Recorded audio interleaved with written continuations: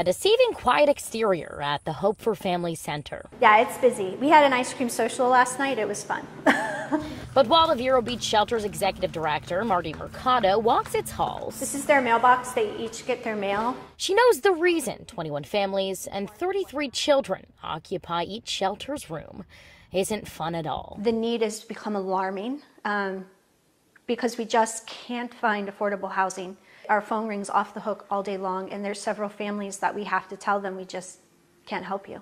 In St. Lucie County, where Habitat for Humanity broke ground on 10 new affordable homes Thursday, the need is just as crippling. We had a threefold increase in the number of applications and interest in this. And while so many scramble to map out a solution, Indian River County Commissioner Susan Adams says the federal government isn't helping. That is a complaint we get. Adams says the Housing Urban Development Council, or HUD, sets the definition of an affordable home by calculating the average median income of an area.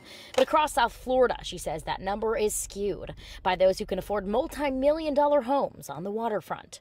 So while the county may consider an affordable home to be 150,000 to $200,000, federal government and the HUD definition of affordable might be as high as 450,000, which is not affordable for your average worker. Habitat for Humanity has seen it firsthand. I think more accessible, affordable housing is the, the, the real, real issue here. And as Marty, hugged tight by this tenant, who finally found a home.